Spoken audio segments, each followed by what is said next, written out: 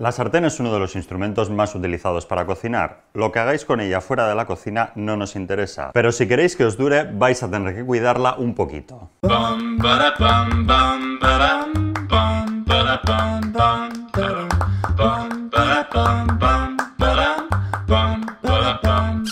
Deja enfriar la sartén antes de echarle un chorro de agua del grifo.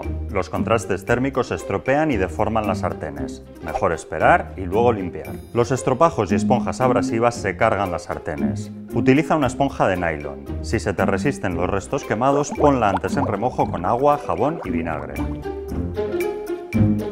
Este librito de instrucciones sirve para algo más que para calzar la mesa. Comprueba si tu lavavajillas es compatible con ollas y sartenes y si tu sartén es apta para lavavajillas. Si es así, recuerda utilizar detergente líquido, no en polvo. Utiliza una solo para cocinar huevos, tortillas y crepes, ya que el huevo es muy delicado y se pega enseguida si la sartén no está en buenas condiciones. Utiliza el tamaño adecuado de quemador. Si la cocina es de gas, regula la llama para que nunca suba por las paredes.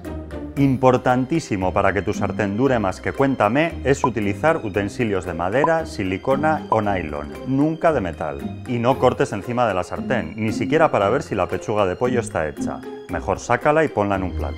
Si pones el fuego a toda caña, tu sartén puede alcanzar más de 300 grados y se quemará. Caliéntala siempre a medio gas hasta que alcance la temperatura deseada.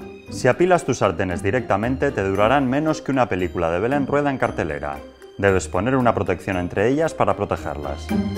No hay que escatimar con las sartenes. Lo barato aquí te saldrá caro. Una sartén debe pesar, ser antiadherente, tener una asa sólida y doble fondo. Las mejores son las de acero inoxidable, hierro, titanio o teflón, que a pesar de lo que has leído en tu muro de Facebook no da cáncer. Si me queréis, suscribirse.